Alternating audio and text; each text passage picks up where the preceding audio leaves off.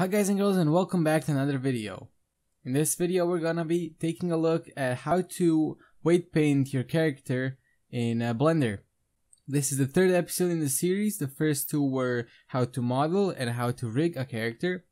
So before we get into weight painting I just want to add some changes to our mesh.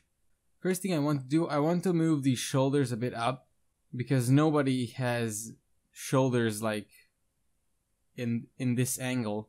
So we're just going to take our arms by pressing Z to go into wireframe mode and then pressing C to take this select tool like that.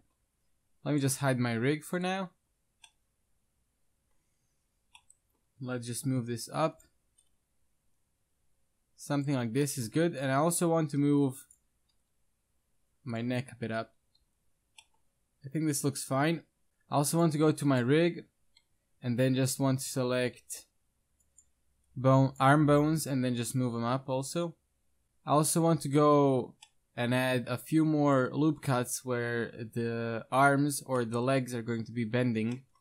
So at our elbow, I'm just going to press Ctrl R and add a few loop cuts like this.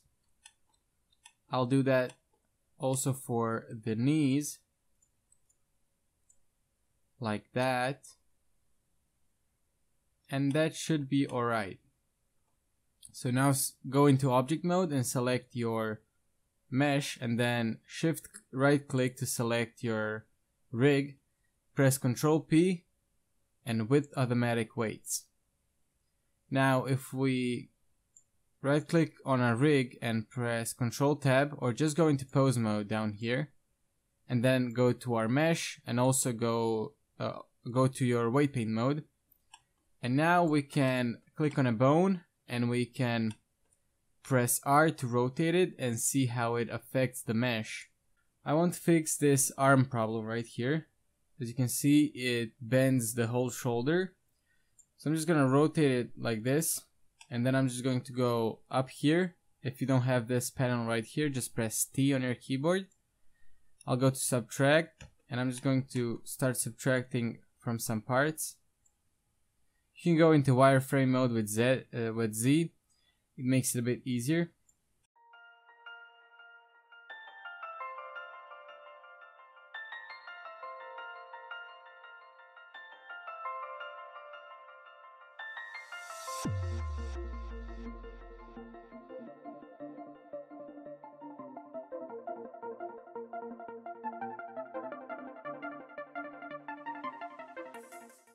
This is not the best, but it's working good enough, I think.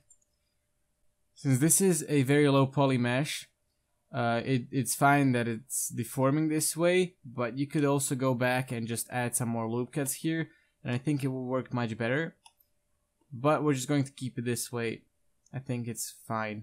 A few cool shortcuts are you can press Alt R to reset the rotation of your bone and you can also, if you move it, you can press Alt G to reset the transform of your bone. I think the fist is maybe deforming too much of our upper arm here. So I'm just going to go through, delete that, and see how it works now.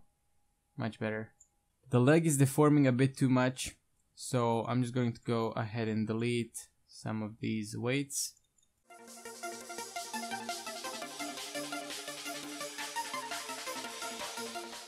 This is fine. I think this is good enough, but I don't think we're going to be moving our leg this far, so I don't think it matters that it's shrinking this back part a bit.